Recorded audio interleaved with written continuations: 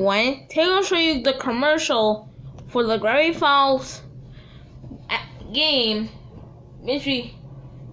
Uh, me mean, ask the mystery. No, no, no. Ask the mini golf. There, mix up my words again. The plot of the game is that the premier set up a mini golf course in their room and have a crazy game of mini golf in it.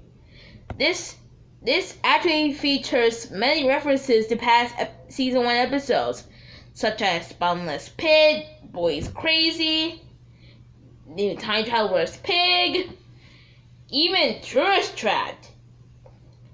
Yeah, but this mainly came from the beginning and the end of Carpet Diem.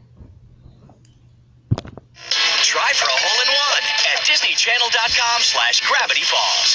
In the game Attic Stuff Golf, play as either Dipper or Mabel in a game of mini golf in the Mystery Shack.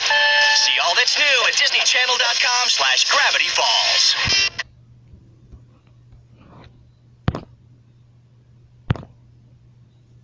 Seriously, I play this game, I will get so confused on what to do.